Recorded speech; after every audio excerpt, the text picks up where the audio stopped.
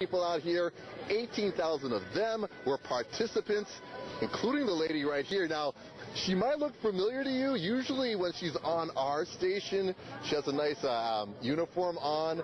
But this right here, you don't mind if I give you a hug on air, I don't do you? mind it's very all. rare that I get to hug a sheriff. Right. This right here is Sheriff Sandra Hutchens with the Orange County Department. And uh, you, my friend, are a cancer survivor. Talk I about your am. I am. I was diagnosed with stage three breast cancer about 10 months ago, and I've just completed treatment about three weeks ago. So it's, I'm really excited to be out here as a survivor. Um, I, I get that. And and you so you have your beat on as well. And you were number 18 this That's- morning.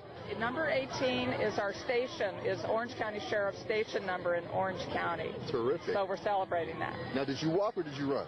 I'm walking. Okay. And, um, you know, I'm just here to support Susan G. Komen because they're such a wonderful organization, and we have to put our money to stop cancer.